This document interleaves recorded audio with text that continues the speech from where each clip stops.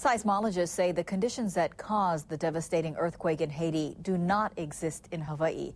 But the Hawaiian Islands are prone to quakes of a different kind.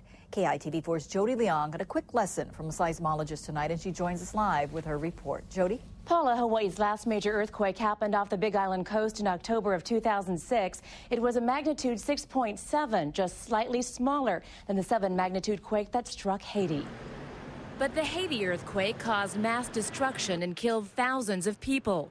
Seismologist Gerard Fryer used foam pads to show us how the quake struck on a fault, with Port au Prince right there. Basically, this block, this is the fault, and this block is moving like that. And the two blocks stick together, and every time they give, that's an earthquake. The two blocks are shifting because North and South America are slowly moving toward each other and the stuff in the middle is squeezing out of the way. So that's why there is this fault here. Millions of years from now, the Caribbean will be squeezed out and closed up. But another reason for the major devastation the quake struck only three miles deep. This one caused an exceptional amount of damage because the, the initial break was very, very shallow and it also produced uh, a lot of high frequency energy. Very, very severe shaking combined with poor construction. The Hawaiian Islands will not see this sort of quake, but there was a much different kind of quake off the Big Island coast back in 2006.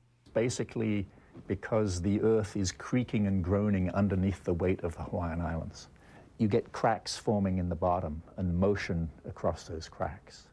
The 6.7 magnitude quake was slightly weaker than Haiti's, but the damage caused was significantly less but a very different kind of earthquake, and fortunately it was deep. There was no very severe shaking at the surface. But the islands are also prone to a much more dangerous type of earthquake called basal slip. That happens when a volcano tends to ooze out sideways. Rift zones fill up with magma and create outward pressure. The whole volcano will slide outwards over the seafloor. You have slipping on that surface, a huge amount of interaction, very large earthquakes. But Fryer says volcanic rock is weak with many cracks. So the shaking energy, the seismic energy, um, is absorbed and scattered very quickly. So that very strong shaking is felt over only a tiny little area, right, right where the break first happens.